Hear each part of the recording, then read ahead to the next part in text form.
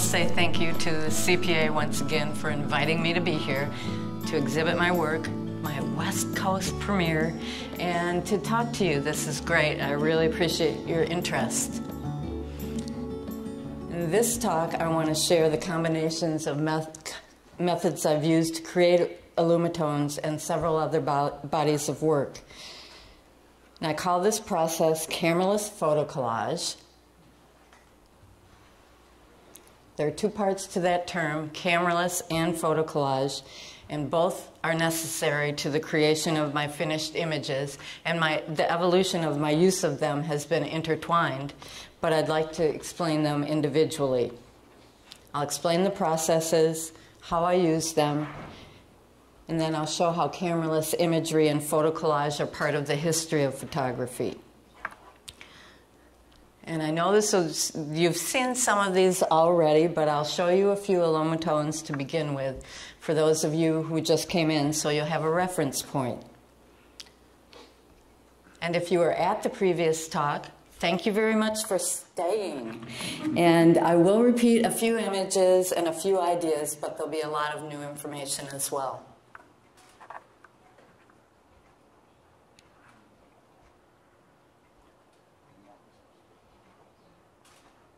Let's start with cameraless images. I've been making images with cameras for nearly 40 years, lots of different camera formats and films. It was through my first explorations with the rangefinder camera that my father gave me that I discovered photography is really a compelling means of expression.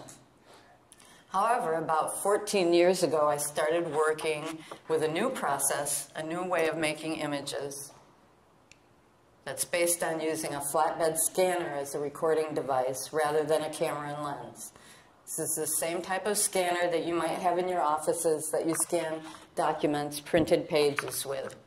But I use mine to record 3D objects. Here you can see this is a dried leaf on the center of the scanner, uh, scanner bed. A flatbed, if you haven't used one, is an optical scanner. The scanning head moves across the stationary page, so it travels the length of the bed.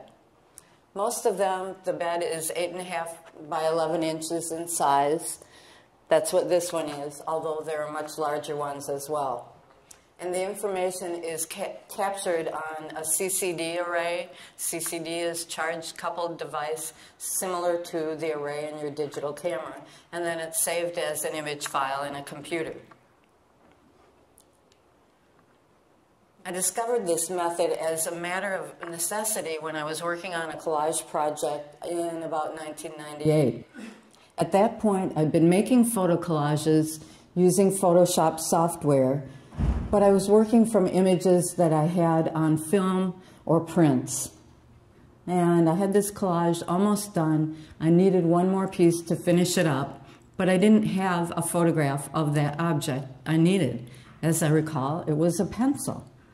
Um, what I would have had to do at that point, I didn't have a digital camera, would be go into my studio, set up my lights, photograph on film the pencil, take the film to the lab, have it processed, have the lab make me a scan, pick it up the next day, come back, and finish up the project. And time was tight.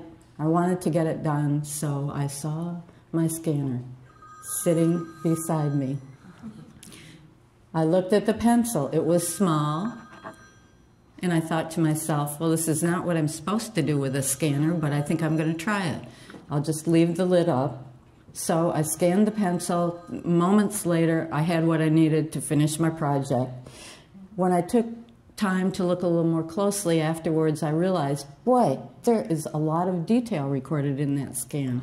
It's not what I expected.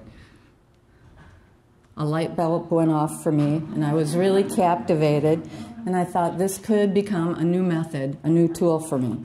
Certainly worth more exploration.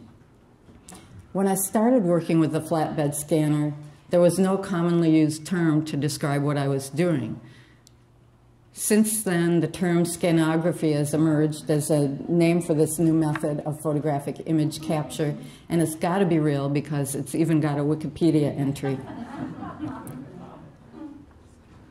So I'd like to start by showing you my setup for making the scans. This is part of my, my work area in my studio. My computer, my printers, and over there, my scanner. There's my scanner with the lid up, ready to go. And here, I've folded a piece of paper and I've centered it on the scanner bed. And this shows my scanner uh, software window on my monitor this is where I can make all the settings for the scan. This is the preview window where I can see before I make the scan what the object's going to look like. Now, if you notice, let me go back. When I'm looking down on my object, it looks very different than what I see in that preview in the scanner software. That's because the scanner is recording from the bottom up. So I need to visualize what I'm doing in reverse. And sometimes I will hold objects in my hand and position them and then flip them over. Um, but this thinking in reverse is similar to how a printmaker creates an image on a plate in reverse with a vision of how it's going to be realized when it is finally printed on the press. So back to my object on the scanner bed. I trigger the scanner from my computer.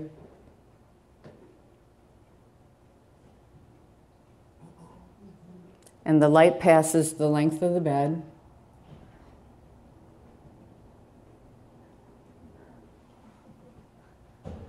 Creates the scan. And there it is on my monitor. Most of the time, for the work I'm doing now, I prefer just having a black background. And you probably noticed in the illustrations of the scanner that the light around the scanner was fairly dark. And I keep the light level in my studio low, so just by default, the background goes dark. Sometimes there are cases, though, where I might want a little to more tonality in the background. And so I could do a situation like this. And it'll be the same object. And I've set up my scanner, and I have a white piece of mat board here blocked up with a couple of chunks of wood. I never want to put anything down on the object. And then there's the preview window again for my scan. And you'll notice the background is lighter, but it's not white, even though it was white mat board. And that's because the mat board is much further away than the object, and the light falls off, so it records with a medium tone. And I'll get the most illumination on the areas that are sitting right on the surface of the scanner bed.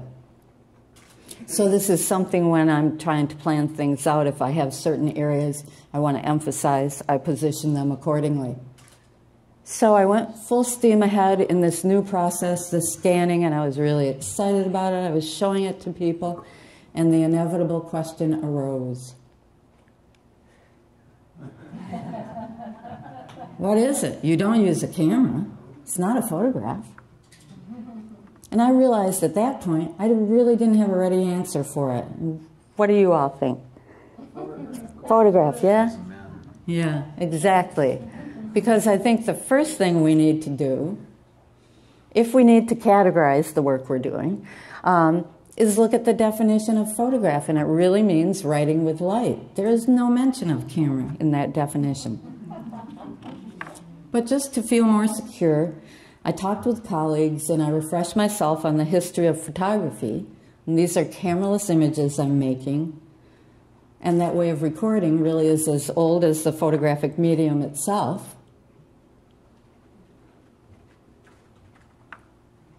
Beginning with William Henry Fox Talbot's photogenic drawings of plants from about the 1830s.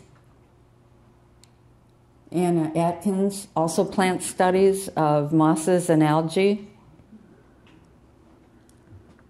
Fox Talbot and Atkins both worked with a process that we now call a photogram, where the object is laid on the photosensitive paper and light exposes it and the object itself makes the image.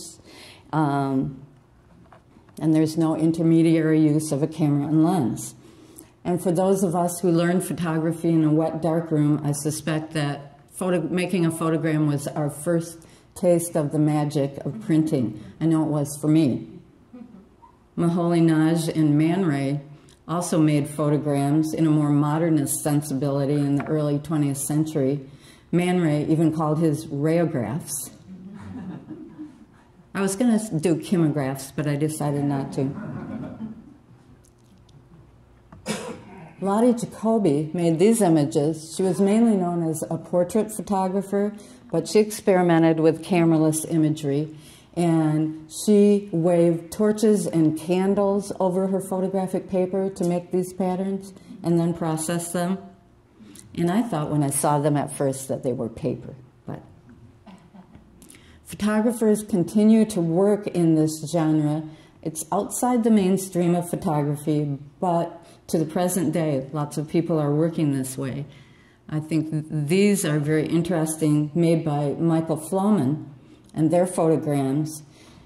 And he exposes sheets of sensitized paper. He works at night um, to natural phenomena over a period of hours. So he records traces of snow, moisture, these uh, firefly luminescence even. So cameraless imagery has really always been a part of photography.